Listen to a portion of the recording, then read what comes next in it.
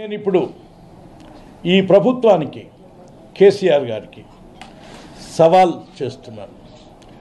ఒకవేళ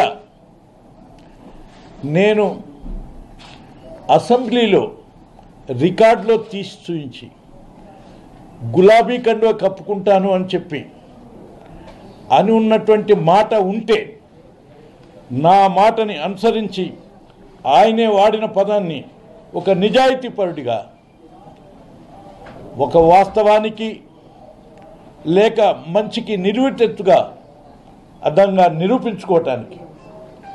నేను వెంటనే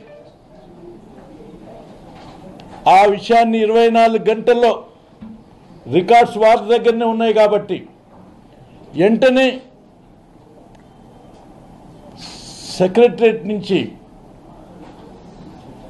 వాటి రికార్డ్స్ తీసి వెంటనే ప్రజలకు ముందర పెట్టి ఈ విషయాన్ని జవాబు చెప్తే నేను ఇరవై నాలుగు గంటల్లో అస్త్ర సన్యాసం చేయటం కానీ రాజకీయ సన్యాసం చేయటం కానీ లేదా నేను అన్నమాటకు నిలబడటం కానీ ఏదో ఒక నిర్ణయానికి నేను ఉండాల్సినటువంటి అవసరం ఉంది.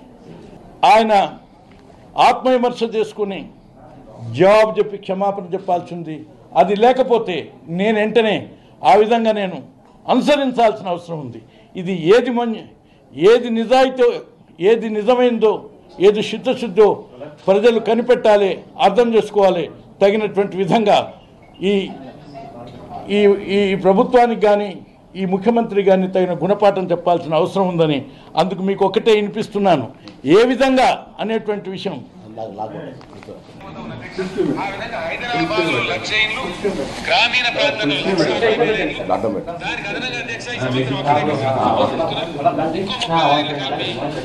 లక్షల గ్యారెంటీగా ఈ టర్ములో కడతాం.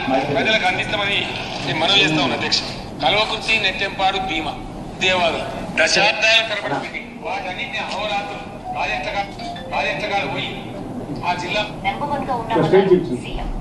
రెండు లక్షల అరవై వేల డబుల్ బెడ్రూమ్ ఈ టర్మ్లో కడతామని చెప్పి హండ్రెడ్ అండ్ వన్ పర్సెంట్ అవి కట్టబోతా ఉన్నాం. ఒక లక్ష ఇండ్లు హైదరాబాద్ నగరంలో కడతామని చెప్పినాం.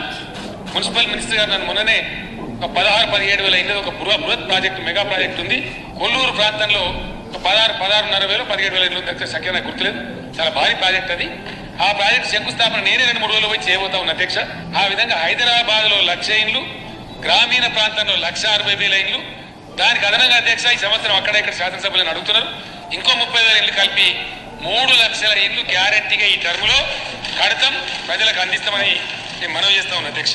కలవకుర్తి నెట్టెంపాడు.